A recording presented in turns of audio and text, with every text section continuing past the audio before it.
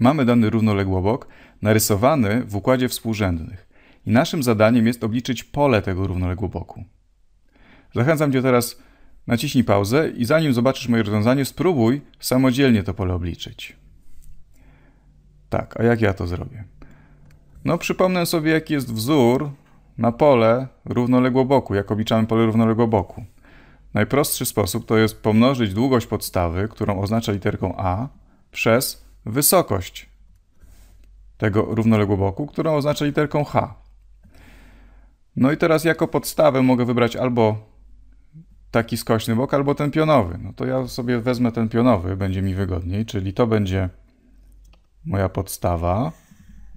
I teraz muszę tylko zastanowić się, jaka jest długość tej podstawy. No tutaj widzimy, że y zmienia się od 5 do minus 7.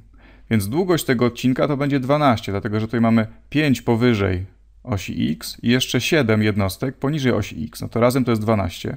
Albo możemy je policzyć. Te kratki 1, 2, 3, 4, 5, 6, 7, 8, 9, 10, 11, 12. Zgadza się. Czyli ta podstawa A ma długość 12 jednostek. No a teraz ile będzie równa wysokość? Wysokość wiemy, że musi być prostopadła do, do podstawy, na którą jest poprowadzona. Tutaj podstawę wybrałem taką pionową, więc wysokość, która będzie prostopadła do tej podstawy, muszę narysować w poziomie.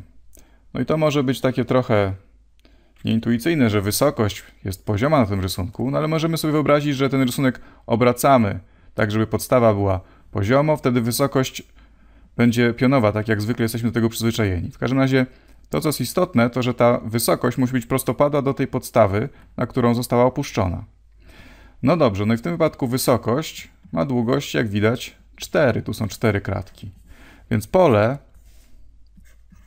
będzie równe 12 razy 4.